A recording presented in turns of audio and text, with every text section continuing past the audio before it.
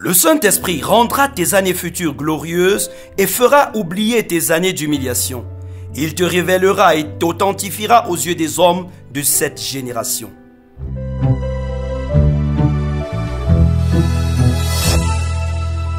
Le plus grand privilège est le vôtre de pouvoir entendre la voix de Dieu en plongeant vos regards dans sa parole. Et le breakfast d'aujourd'hui s'intitule Recherchez ardemment la plénitude du Saint-Esprit. Il est inspiré de Matthieu 3, versets 16 à 17 qui dit ceci. Dès que Jésus eut été baptisé, il sortit de l'eau, et voici les cieux s'ouvrir, et il vit l'Esprit de Dieu descendre comme une colombe et venir sur lui. Et voici, une voix fit entendre des cieux ces paroles. Celui-ci est mon Fils bien-aimé, en qui j'ai mis toute mon affection. Amen. Ne vous méprenez pas au sujet de votre destinée. Vous n'êtes pas venu sur la terre vous balader. Vous n'êtes pas non plus venu juste occuper un emploi, faire un commerce, construire des maisons et mourir comme meurent les animaux. Vous avez une destinée extraordinaire. Dieu a des projets précis qu'il a prévus pour vous, afin que vous participiez à sa gloire dans le monde. Mais vous n'accomplirez aucune de ces choses glorieuses que Dieu a prévues pour vous tant que vous n'aurez pas reçu l'équipement du Saint-Esprit. Jésus le Fils de Dieu est devenu homme pour nous donner un exemple de comment Dieu collabore avec les hommes. Son incarnation a été précédée d'un dépouillement total. Il a laissé totalement sa gloire au ciel pour entrer dans le monde. Il était totalement homme et subissait les mêmes souffrances que tous les hommes. Les trente premières années de sa vie n'ont rien eu d'extraordinaire. Il n'y fit aucun exploit. Il était un homme comme vous et moi. Il allait à la synagogue comme tous les jeunes gens juifs. Et quand le temps d'entrer dans sa destinée arriva, quand le moment de sa révélation arriva, il ne se limita pas à ses capacités naturelles, à ses talents de bon charpentier, à la connaissance de la loi et des prophètes acquises à la synagogue. Il rechercha la plénitude du Saint-Esprit. Il savait que tout homme qui n'est pas rempli du Saint-Esprit est inutile entre les mains de Dieu. Il attendit d'être rempli du Saint-Esprit. Ceci arriva le jour où il se rendit vers Jean-Baptiste pour être baptisé par lui. Il le fit par obéissance à son Père. Le Saint-Esprit descendit sur lui comme une colombe.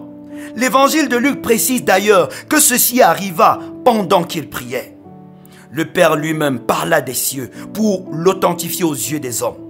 Les trois ans qui suivirent furent extraordinaires et fit oublier les trente années précédentes.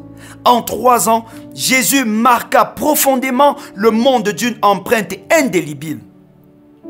Si Jésus, né d'une famille pauvre, dans les conditions les plus abjectes, au milieu d'un peuple dominé par une puissance coloniale, a pu changer le monde, alors sachez que rien ne saurait vous disqualifier d'être un agent de changement, même pas les épisodes sombres de votre passé.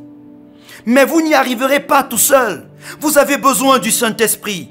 Ne vous fatiguez pas à vouloir démontrer quoi que ce soit aux hommes. Quand le Saint-Esprit sera venu, Dieu se chargera lui-même de vous rendre témoignage.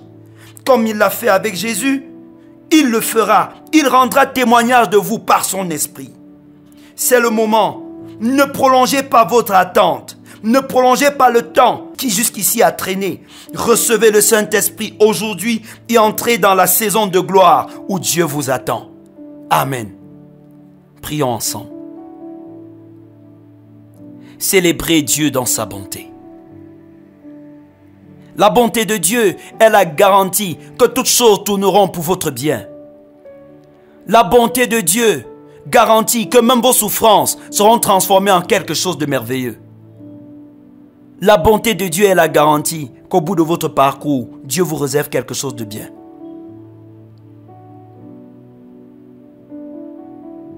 Maintenant, demandez à Dieu de vous équiper, de ne pas prolonger votre temps d'attente.